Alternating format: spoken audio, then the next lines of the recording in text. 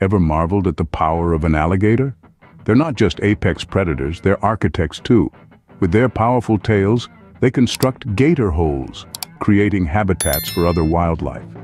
And did you know? They've got a softer side too. Alligator mothers are fiercely protective, guarding their young for up to two years.